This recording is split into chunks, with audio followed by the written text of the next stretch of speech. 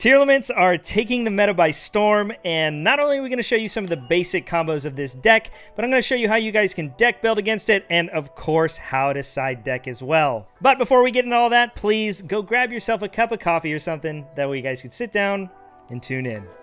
Let's do this.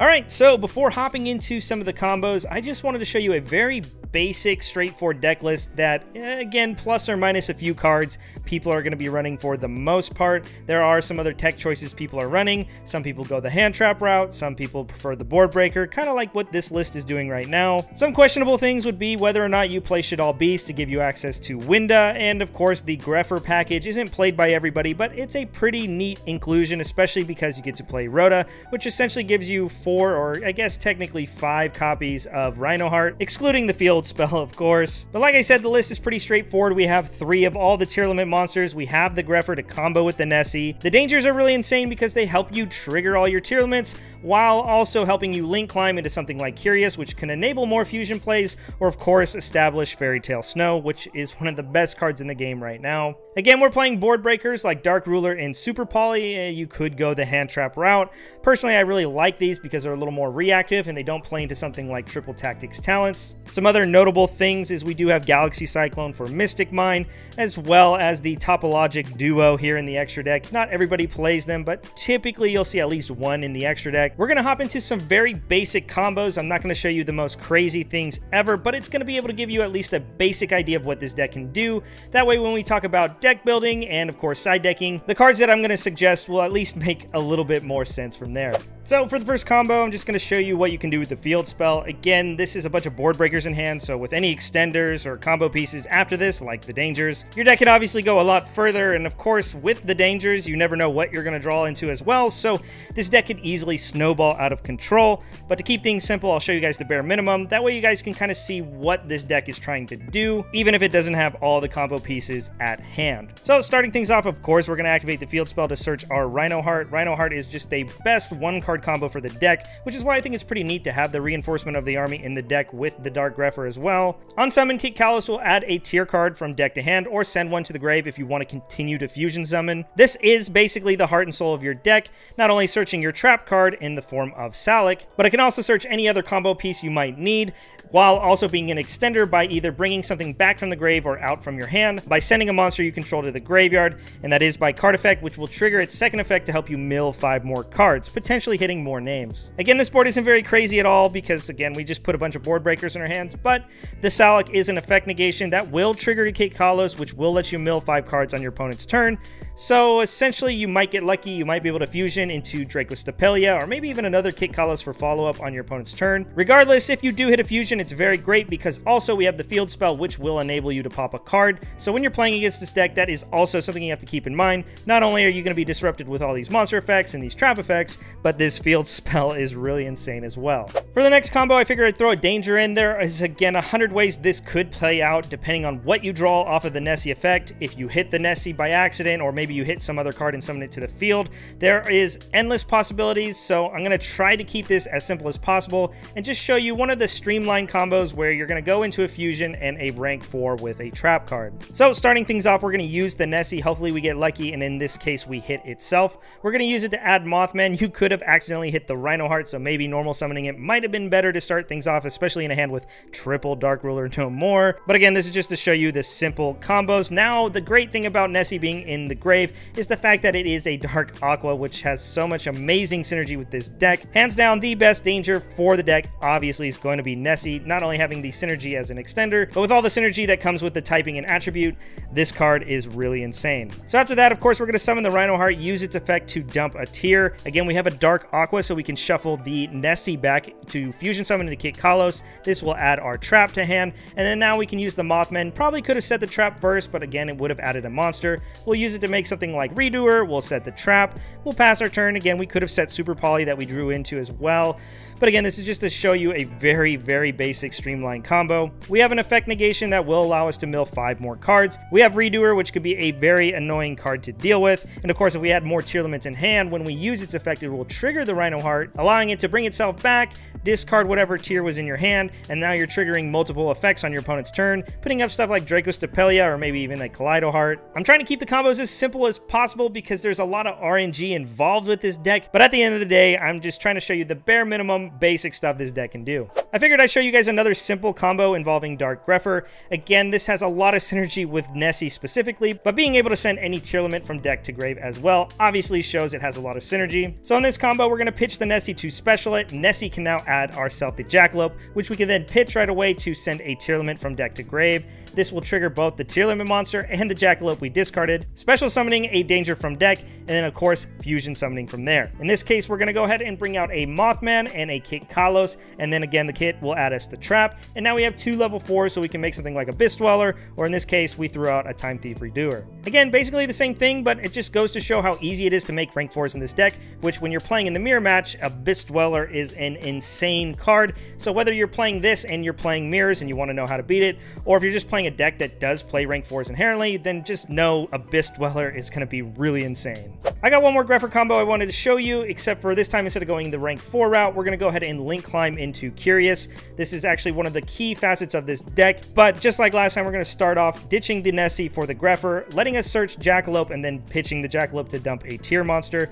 This time when we use their effects, we're not going to summon Mothman, we're actually going to summon another Nessie, which we'll talk about in a sec. And then of course, we're going to use the Tearlament effect here to shuffle back the Nessie, but instead of going to Kitkallos, instead we're going to go into Garura. Garura will hit the field, and then of course a second Nessie comes out. The main reason we do this is not only does it give us the required materials for our Curious, but it reestablishes Nessie in the grave, so that way when we go to dump a Tearlament with Curious, we already have a Dark Aqua online once again. One thing that's really cool about this combo also is now we're triggering the Garura effect to draw a free card, and then like I said, we're going to use the Curious. We're going to shuffle those back to make Kitkallos. We're going to mill three more cards. We did get lucky here and hit another tier. We're going to add a trap, and in this case, we get a free Dragostapelia. And again, I just think this showcases how amazing this deck can be because you could potentially hit more and more names throughout your combo, which really lets you snowball out of control.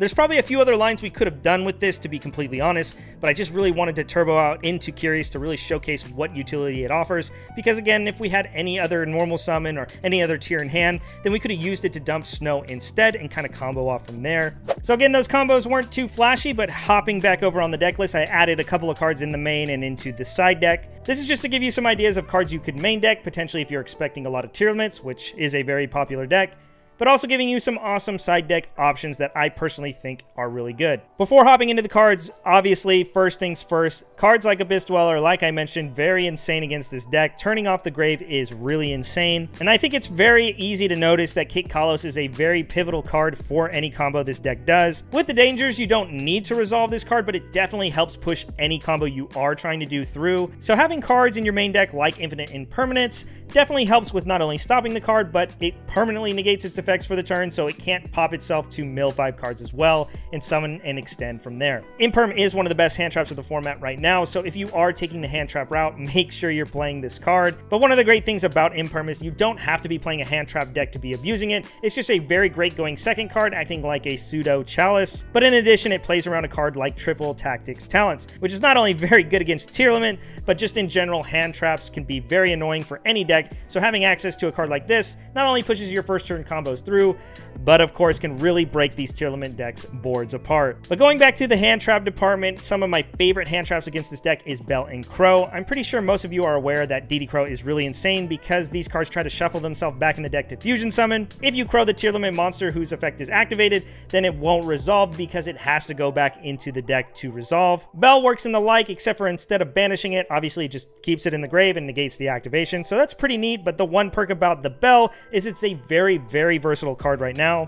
Not only stopping cards like Called by the Grave, but there are so many applications that this card can come up, even stopping cards like Fairy Tail Snow. Sprite Elf, totally awesome. There's just so many different things you could use this on in the meta today, and that's why I personally think Ghost Belle in the main deck is a super solid choice, because not only is it something that can stop your opponent from comboing, but it's also a way to push your plays through as well, so it's pretty neat. I already touched on Triple Tactics talents, but I personally love this card to death. It's one of those cards, though, where the more relevant hand traps are, the better this card is, but even without hand traps in the mix, going second, this card is very easy to resolve. One quick note is these Tearlament monsters do have effects when they're sent to the grave as well by card effects, so being able to steal them with Triple Tactics talents and then link them off makes it to where not only are you obviously removing the problem card, but you're preventing your opponent from snowballing out of control, especially with Kaleido Heart being able to bring itself back from the grave, dump more Tearlaments to fusion summon, maybe make another interruption like Dragostapelia. And of course, this card can also spin cards your opponent controls whenever an Aqua is sent from deck to grave, or whenever it's special summoned as well. So this card is a very powerful card for the deck, and plus it can't be used for a fusion summon, so you know you can't super poly it. Speaking of Super Poly, before going on to the rest of the cards, Super Poly is obviously very good at breaking boards in the game today, so if you have room for stuff like Garura and Mudragon, you definitely should consider main decking this card. Dark Ruler No More needs really no explanation. Obviously, a card that can just turn off the whole field is very good, but just keep in mind when your opponent has something like Sulliek set, just know if you do Dark Ruler the field and maybe turn off a Kaleido Heart and a Draco Dragostapelia, your opponent can still flip Sulliek, negate an effect, and then obviously if they have the Kaleido Heart, now it gets to bring itself back from the grave and then dump another tier, allowing it to fusion summon again. And of course, when this comes back, then you spin a card. So there's still multiple interruptions to have to play through even after Dark Ruling. So you really have to pick and choose when you want to activate Dark Ruler, but just know holding it and timing it correctly is a very powerful card against this deck. But again, this deck can play through Dark Ruler a lot better than something like Sprite. Now for another going second pseudo board breaker card, Mystic Mine. Obviously, this card is insane. Mystic Mine obviously can turn off a lot of monster effects, so enabling you to play through a board, but also since the Tearlament deck mills 10 to 20 cards in their first turn, it's going to be very easy to deck them out if they don't have a way to out this card, which is why this build was playing a Galaxy Cyclone. One other note I wanted to talk about is the adventure package. Not every deck can play this, but if you are playing a deck that can, I highly suggest playing it because it is so good against Tearlaments. Some builds do put up Omni Negates where they're playing like Frogs or Punks, but more times than not, they're going in a route like this, Rite of Aramesir is obviously a powerful card, putting up something like Gryphon Rider your first turn and helping push through hand traps while you're trying to combo, but going second having access to Dracoback is so good at breaking this board. Spinning back any problematic card, making sure you're not triggering graveyard effects at the same time is so good, all while generating free advantage with tokens and bodies on the field to link climb with. Personally, this is still one of my favorite engines in the game, and I think while we have it, we should definitely abuse it. Now, hopping over to the side, like I said, most decks aren't going to be putting up the Omni Negates, but they are going to put up a bunch of interruptions. So having a card like Evenly Matched is so good because you know it's going to resolve, and it deals with so many of the interruptions that you're going to run into. It really puts the Tearlament player in a hard spot where they have to choose what interruption they want to keep, all while dealing with multiple interruptions and preventing the trap card from being live because you both obviously need the trap card and a Tearlament on the field. So really the only way they play around this is maybe having a Havnis in hand, which is something you need to keep in mind when breaking the board. But all in all, Evenly Match is probably one of the best tempo swingers against this deck, and so if your deck can play it, I definitely think you should side it because, again, it does do good things against back row decks as well. So for me, personally, Evenly Match, number one pick in the side deck for obvious reasons. Another board breaker card you can consider is like Lava Golem or even Sphere Mode's another card you could play.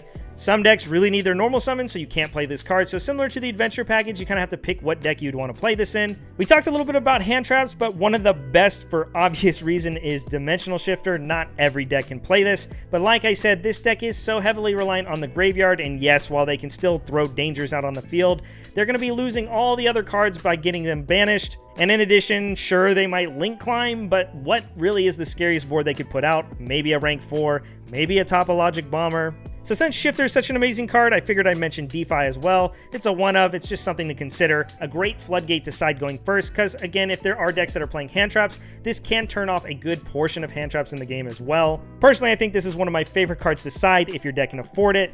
But again, it's a one of, so if you don't side it, it's really not the worst card to leave out. If you want a really efficient card at skipping your opponent's turn, I'm pretty sure you've all seen this, Artifact Scythe. Obviously, if you're playing a deck that plays Dagda, this is really insane, but normally we're just just going to side it alongside Sanctum. A lot of people have been cutting Ash Blossom, so more times than not, this will resolve. Really, after this hits the field, you're just worried about Imperm. But again, this isn't going to be the only thing on your field, so more times than not, you're going to have interruptions anyway. But just know, obviously, Scythe is just going to skip their turn for the most part, and all they can really do is maybe set the trap and maybe set Super Poly to hopefully live the next turn. One other card I forgot that I left out here is Dimensional Barrier. This card is very good, very similar to Scythe by being able to turn off an entire mechanic. I think this is very insane, especially against like the branded variants of this deck.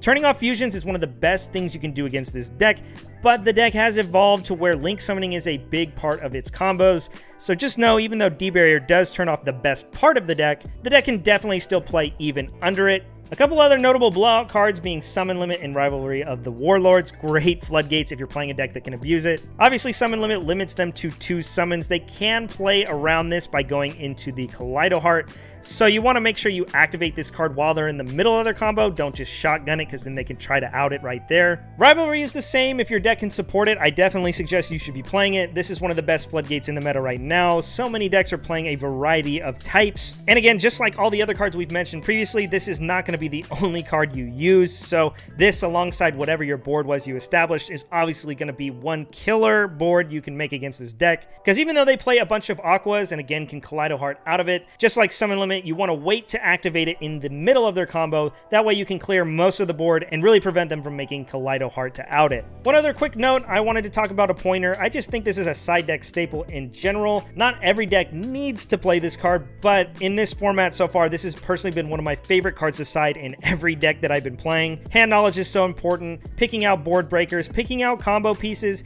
This card gives you it all. And when your board puts up a bunch of interruptions, knowing exactly how to sequence those interruptions to just guarantee your opponent doesn't play is an FTK in itself. And for that reason, I personally think if you can fit this in your side, you definitely should. This card's insane. So that's it for this quick little rundown on the deck, some basic combos, and some different tips that I would do to beat the deck. Maybe you learned something new, maybe you saw some of the stuff you were already aware of, but regardless, if you know something, or maybe I forgot to mention something in the video, comment down below, let everybody else know. The meta has been so much fun to play, except for Mystic Mine, but hopefully this video gave you some ideas of what to do going forward. Here's hoping to see you guys next time. Peace.